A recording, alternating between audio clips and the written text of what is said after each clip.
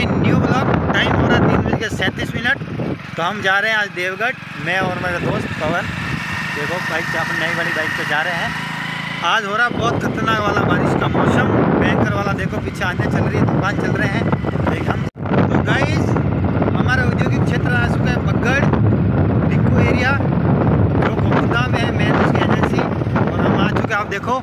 ये पूरा है इसका सर्कल जो यहाँ पे क्या है कि यहाँ पे लगेंगे, बिल्कुल सर्कल एरिया रहेगा। यहाँ पे पेड़ पौधे लगेंगे सर्कल रहेगा, बैठने का पूरा एरिया के अंदर। देखो अभी मतलब पौधे फ़िलहाल लगने चालू हो चुके हैं, लेकिन बारिश की वजह से क्या पौधे नहीं लगाए हैं? तो ये देखो पूरा इंडस्ट्रियल एरिया बनेगा। पूरा बारी वाला मतलब यहाँ पे मतलब बैठने का है, थड़ी वगैरह है, चौपाटी वगैरह है मतलब यहाँ पे बहुत एक अच्छा सिस्टम रहेगा अच्छा वाला। और पीछे इधर देखो, आपको बताते हैं, इधर कंपनी का काम चालू हो चुका है। और लाइटिंग का काम भी लग चुका है लाइटिंगें भी लग रही है, और पानी की टंकी भी बन चुकी है, लेकिन अभी और बननी बाकी है।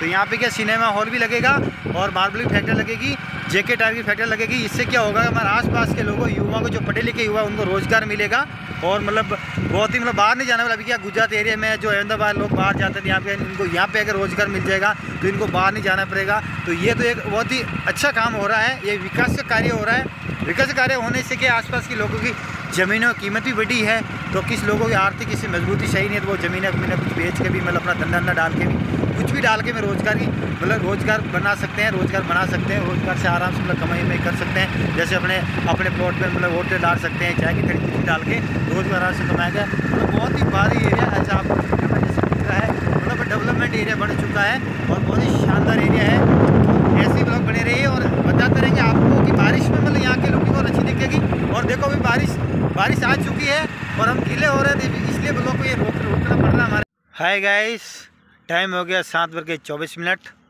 तो हम कामलीगढ़ से आ चुके थे। रोई पहुँच चुके हैं रिको एरिया पीपली नगर। ये पूरा रिको एरिया बाउंड्री है, जो आपको दिख रही है चारों तरफ़।